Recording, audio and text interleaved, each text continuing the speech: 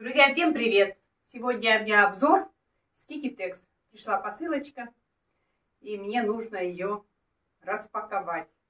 Вот такая первая позиция. Это туника. Э, туника женская, с таким вот принтом, нарядная.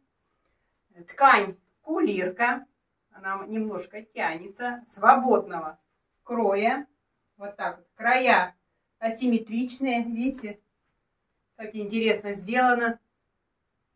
Рукав приспущен. Ну, считается от плеча рукав приспущен. Так, горловина обработана бейкой из основного полотна. Ну, вот такая вот бейчика. Вот, вот такая туничка. Свободная, легкая, симпатичная. Цвета в ассортименте. Сзади смотрится вот так. Друзья, следующая позиция. Это вот такой джемпер. Джемпер женский. Трикотаж. Вот. Рукавчики здесь как бы вточные, да? От плеча вточные. Здесь вот такой вот манжетик по низу. Э, здесь, э, как ее называют, тоже манжет без, ну как, просто манжет. Ткань футер лайкра.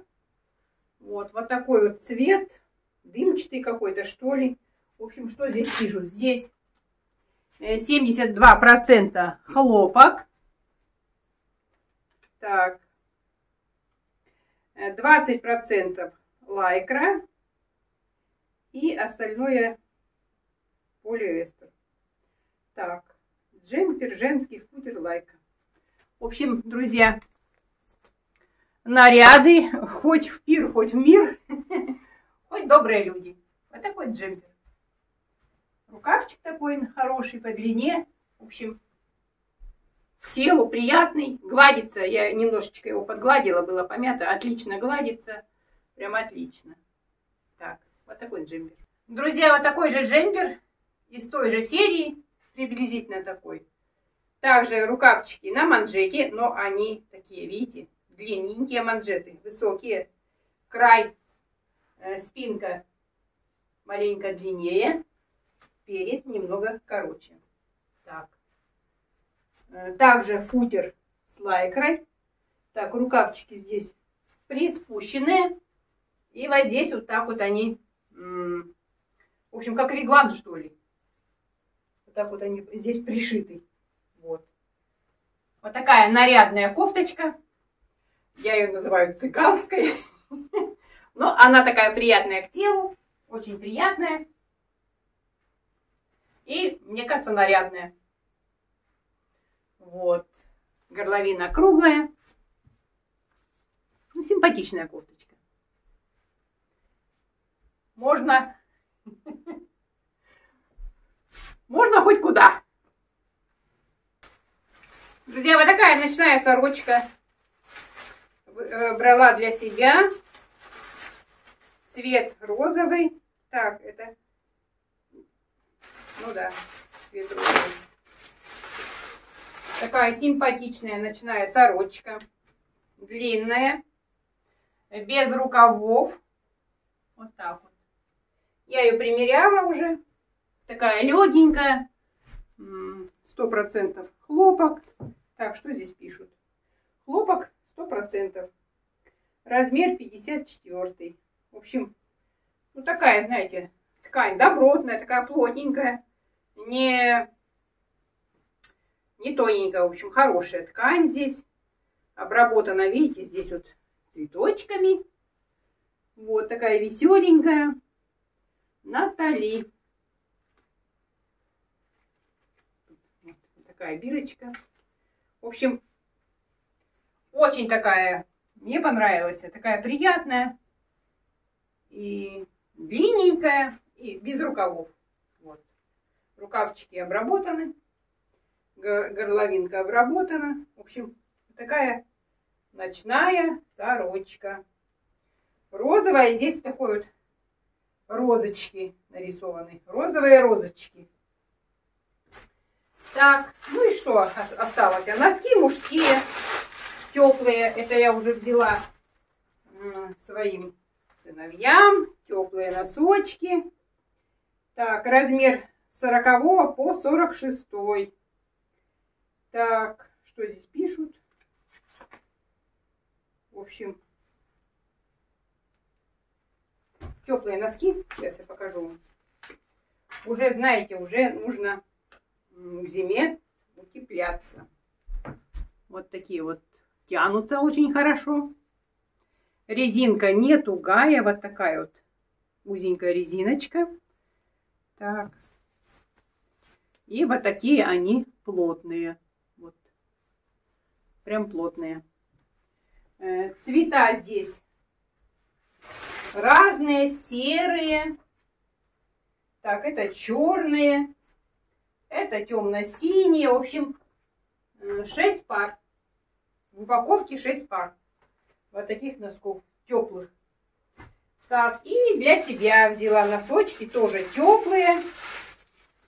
И знаете, по, подороже взяла, чтобы они были такие по качеству получше. Вот. Сейчас я вам покажу. Они две, два разные. Так, это что? Размер от 25 по 27. Вот так, также тут вот такая вот резиночка. Прям смотрите, малюпенькая. Так, вот такие они, они тянутся, и они уже плотные. Ну и по цене, конечно, подороже. Так, тоже цвета. В общем, это три в одном комплекте, три пары носков. Цвета здесь серый, потом что-то как с, роз, с розова. И вот такие вот бирюзовые, что ли. Так, и вот эти вот. Тоже три комплекта, совсем они отдельно. Вот такие вот, вот такой рисунок у них. Тоже поплотнее. Так, ну вот эти я в руках держу. Тоже такие плотненькие. Хорошие носки. Прям носки видно будут. Ну, хорошие. Их видно, что они по качеству хорошие. Вот. Так что с 20 тоже 5 по 27 размер они тянутся очень-очень хорошо. Так, ну и все. И все товары. И весь обзорчик, друзья. Э, ссылочки я оставлю под видео в описании. Проходите, смотрите. Ну и все. Обзор закончен. Друзья, это я уже после съемок Тикитекс. Знаете, я кое-как его отвела, этот обзор. Два дня не снимала, вот такое недомогание. Но сегодня маленечко получше. Как говорится, в глазах немножко прояснилось. И в голове тоже. Я не знаю, или может быть это магнитные бури. Или может быть я устала, за лето устала от всего. Я не знаю. В общем, какой-то упадок сил, какая-то тошнота, какой-то недомок в организме. А эти дни, знаете, на голову прям давит на голову. Давление смерю. Сразу было давление. Вчера нормальное давление было. Пульс только повышенный. Сегодня 112 давление. Это вообще кофе даже пила. В общем, я не знаю. Причину я не могу объяснить, почему так. Но вчера я вам ставила там кадрики. В общем, через силу я сделала это лечи. Потому что я все приготовила, а сил нету дальше доделать. Ну вот, через силу прямо я его сделала, это лечи. И с каждым днем я надеюсь, завтра будет лучше. завтра будет лучше.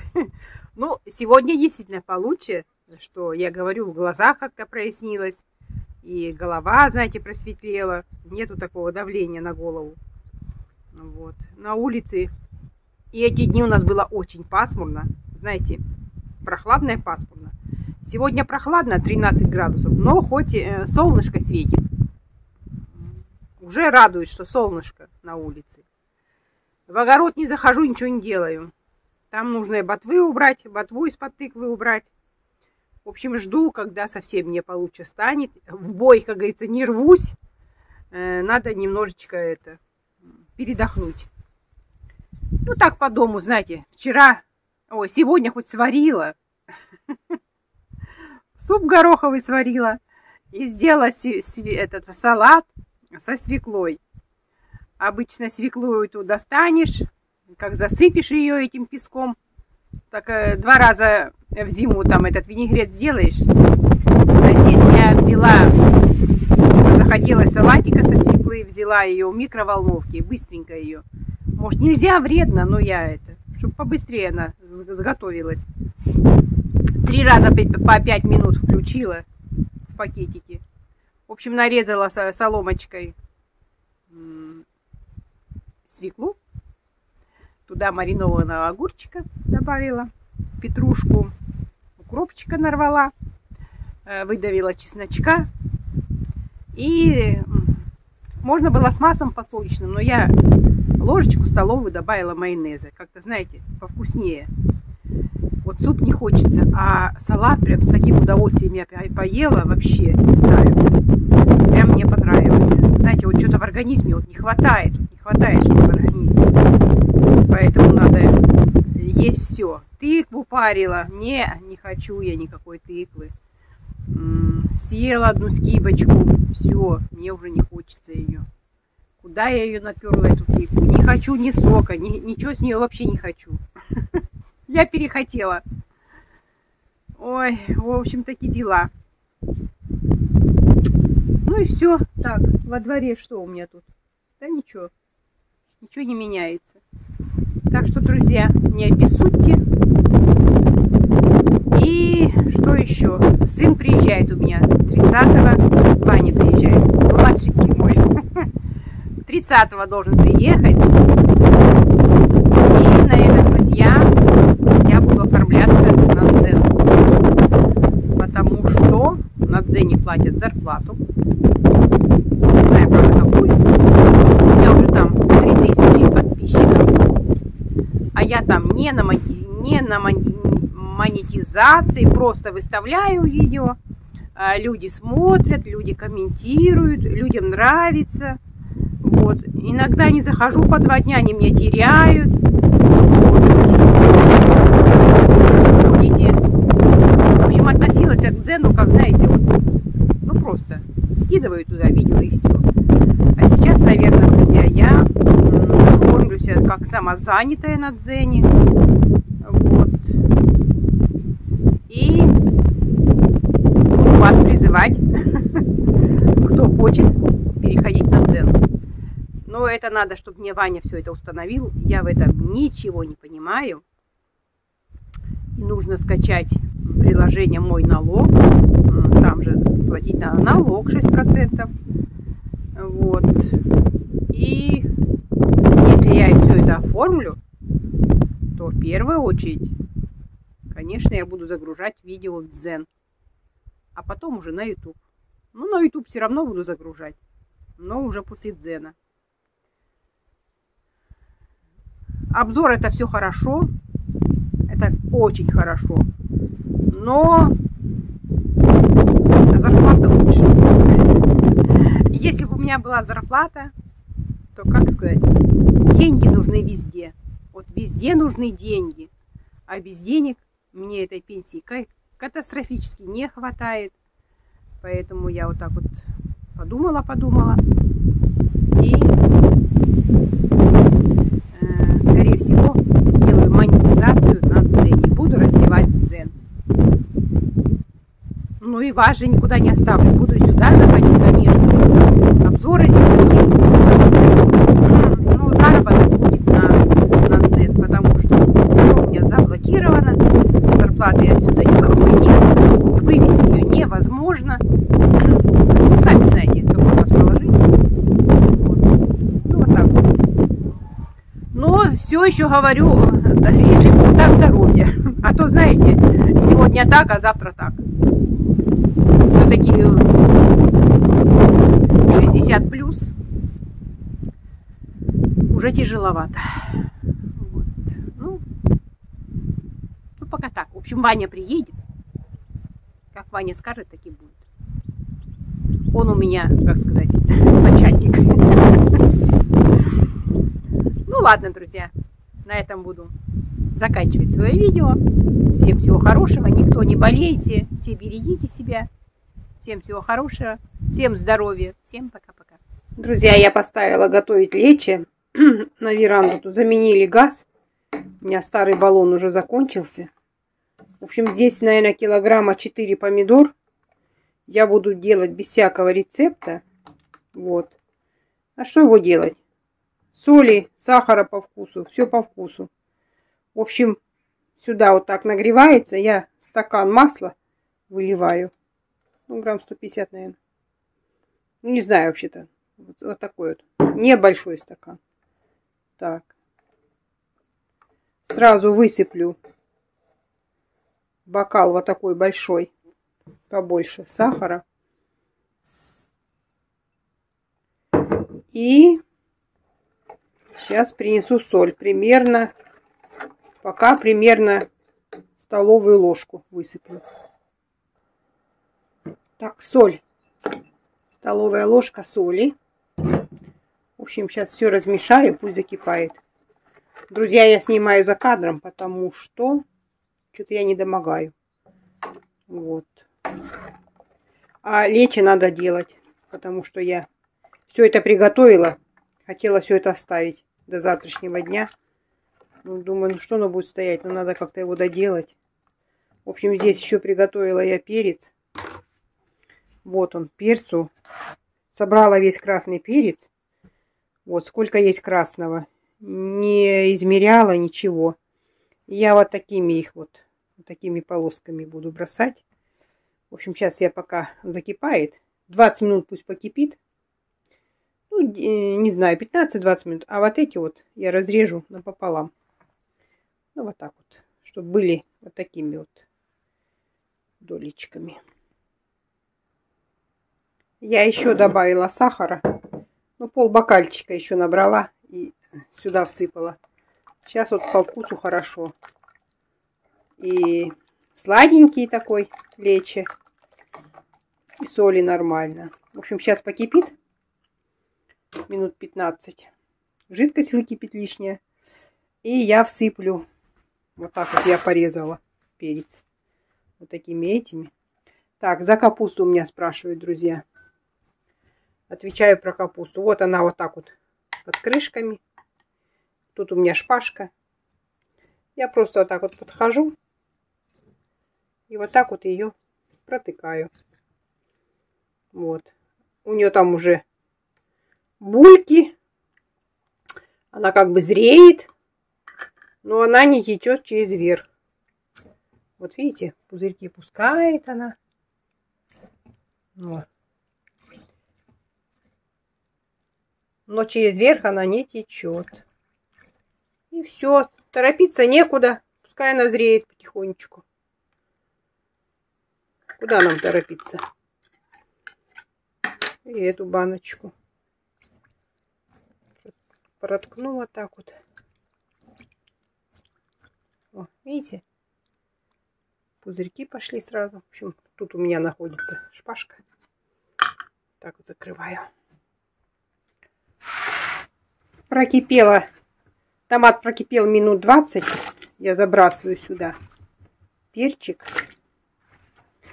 И с момента закипания проварю, ну, минут 10. Еще я чеснок начистила, добавлю еще в конце чесночка, чтобы было вкусненько. Так, сейчас все размешаю. Вот. Баночки я уже простерилизовала. И крышки тоже простерилизовала. Так, все, сейчас перемешаю. Вот так получается. В общем, пусть закипает. И с момента закипания 10 минут. В конце добавлю чеснок. И чуть-чуть добавлю лимонной кислоты. Вообще не хотела ничего не добавлять, потому что здесь же помидоры. Ну, знаете, для, как говорится, для пущей верности. Граммчик лимонной кислоты добавлю. Прокипела 10 минут. Сейчас заброшу чеснок.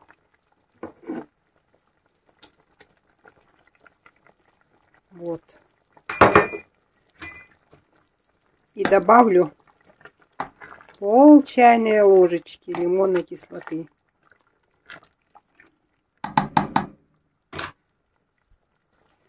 Можно было не, доб не добавлять, но я вот что-то боюсь. Вот столько набрала, совсем немножко. Все, сейчас 5 минут и раскладываю по баночкам.